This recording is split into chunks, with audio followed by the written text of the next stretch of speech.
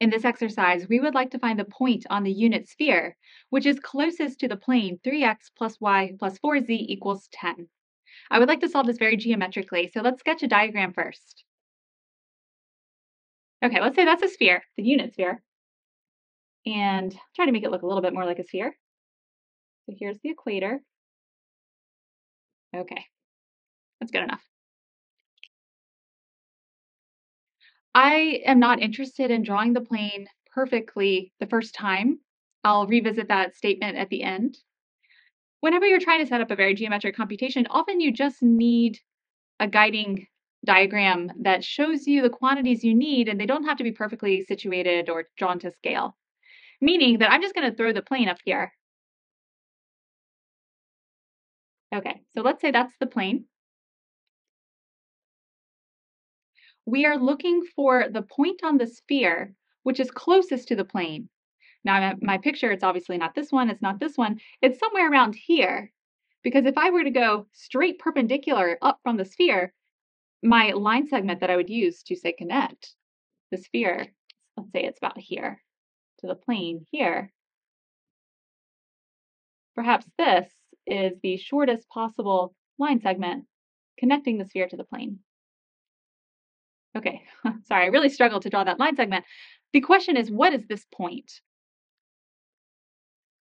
Okay, from the diagram, we start to get some clues.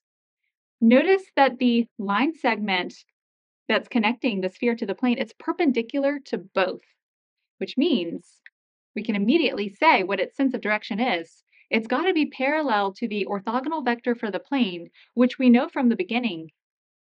I'll just drop it here to be the vector, how about call it n, and it's the vector 3, 1, 4. Now 3, 1, 4 I've sketched as this vector. It might not be exactly that, some scaled version of it, but this sense of direction from our sphere to our plane is parallel to 3, 1, 4. Okay, so that's the first clue. The second clue is notice that if I take this plane, if I just go grab it and sort of slide it down to the sphere, then it's going to touch the sphere at that point in a way which is tangent. So the point on the sphere, which is here, the point closest to our plane, is exactly the one whose tangent plane has an orthogonal sense of direction, which is 314. And that's really key. So again, if I took this plane and I shifted it down, we would have like a moment of tangency where our plane lies against our sphere in a perfectly flat way, it's happening at this point, telling us that this plane is parallel to the plane which is tangent to the sphere at that point.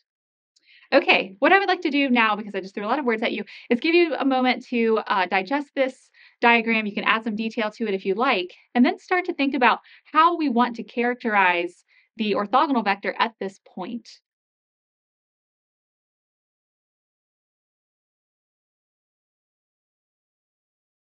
The next observation I'm going to make is, is because we're working on a sphere and that's a very special object.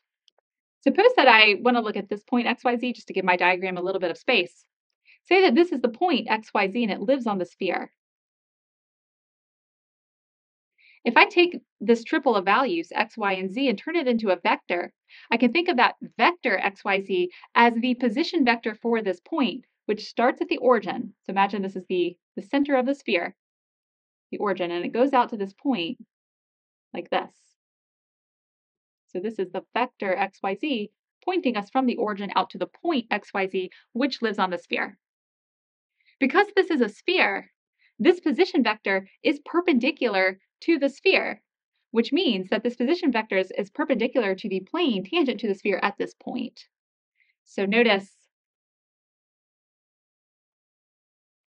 xyz written as a vector, is perpendicular to the tangent plane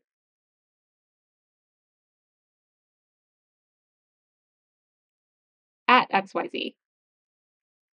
And this statement I'm just making eh, I'm making here is, is true because we're working on a sphere. So that wouldn't be true in general, but it is true for a sphere because of this radial symmetry we have. So no matter how you draw a radius, it's perpendicular to the sphere itself.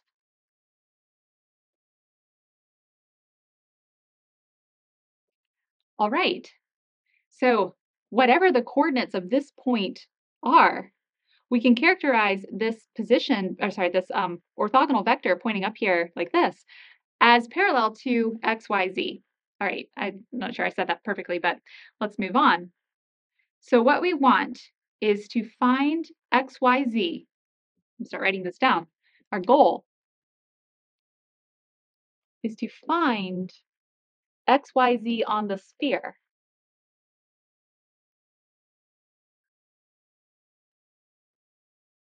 So that the vector xyz is parallel to 314.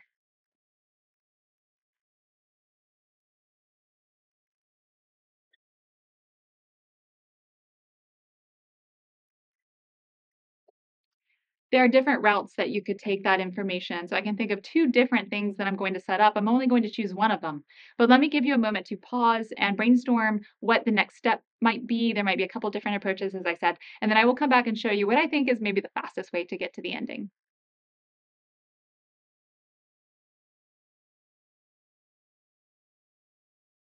All right, since again, we're working on a sphere, not just any sphere, the unit sphere, we know that x squared plus y squared plus z squared equals 1, which means that this vector xyz is unit length. So notice x squared plus y squared plus z squared being 1 means the vector xyz is unit length. All right, xyz is unit length. We need a unit length vector parallel to the vector 3, 1, 4 what we want to do is take 314 and normalize it, if you will, divide it by its magnitude so that it becomes a unit length vector. We found a unit length vector parallel to it. The thing is, it can point one of two ways. So what we'll say first is this vector we're looking for, xyz, is either one version or the other. Uh, 3, 1, 4, divided by the square root of 9 plus 1 plus 16 is going to be the square root of 26. It's either that vector or it's the opposite. Let me say negative 3, negative 1, negative 4 divided by the square root of 26. It's one of these two. Let me give you a moment again just to digest this. If this wasn't the way that you thought of, see if the vector that you got looks like one of these two. And then I will come back and we will figure out how to distinguish which is happening. So which vector do we want?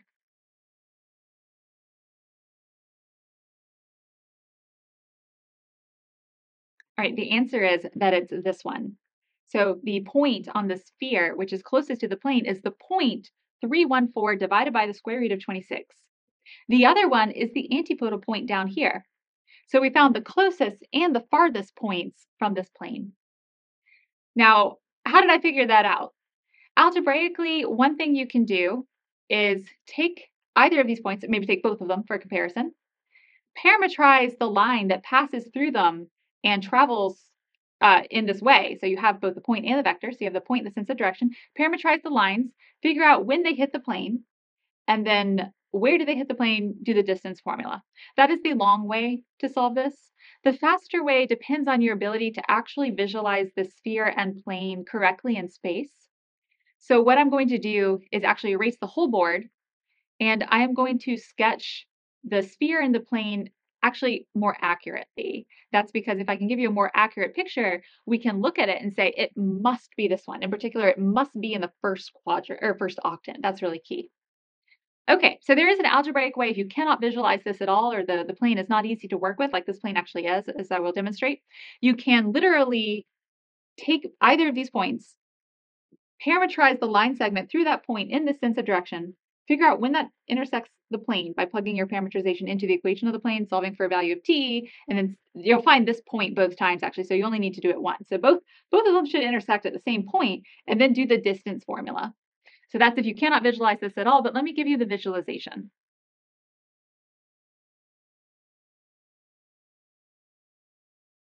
So the picture that we were looking at before was not drawn to scale. It wasn't accurate because it didn't need to be. We were able to identify what pieces of information we needed in order to solve the problem almost to the very end. Then at the very end, it's like you have to make some discernment between two points. Which one is the correct choice? Let me show you how drawing the picture accurately can actually help you figure out that it was the one in the first octant, not the one diametrically opposite. Okay, so this is the first octant. I'm trying to sketch here proper XYZ space, drawn mostly to scale. We have, of course, that the unit sphere intersects the X, Y, and Z axes at 1, of course, it's the unit sphere. For the plane, what you can do is say, okay, where does this plane intersect the x-axis? That means zero out the y and z coordinates, and we're looking at 3x equals 10. So that's like a little bit beyond 3. So, okay, it's not going to be to scale, but let's say this is 10 thirds. Here's the x-intercept. For y, when x and z are 0, y is 10. It's way over here. Here's the y-intercept. And then 4z equals 10 when x and y are both 0 tells us, what, 5 halves, so a little bit beyond 2 or between 2 and 3. So let's say that's about here. It's very hard to draw a beautiful plane, right? So spheres, paraboloids, we can make great pictures. For planes, it's always a little bit unsatisfying when you sketch a plane in three-dimensional space. But if your intercepts are all in the positive x, y, and z axes like this so that you're looking at the first octant, you can actually give a realistic picture of the plane if you're just visualizing the part that lives in the first octant. So it's going to be a triangular shape. This is not the whole plane, obviously. I don't really mean for it to look like it's touching the sphere there. It's okay. just trying to connect this point to that one. And again, not drawn to scale. Okay whatever. So there's one edge and the sphere should be inside. And likewise over here, the sphere is inside. So this should intersection shouldn't really be happening. Also, that sphere is down below. Okay. So what that means is that we know our plane gets really close to the sphere in the first octant, and then it goes off like this. Diametrically opposite, the sphere is very far away from this plane. So we have this plane wedge here. This is just a triangular subset of the entire plane that goes on forever. But just based on this illustration of the sphere and this plane in the first octant, we can see that, hey, this plane gets really close to the sphere in the first octant, and then it goes off like that. So diametrically opposite is much farther away. So that's how I knew to select the point where the x, y, and z coordinates were all positive, not the ones where they were all negative, because that's going to be exact opposite side of this. Okay, again, that's the rationale that I went through because this was something that was not too bad to visualize. There are algebraic alternatives that I kind of went through out loud, so you can test that and see if, if you get to the same conclusion. I hope you enjoyed working through this problem.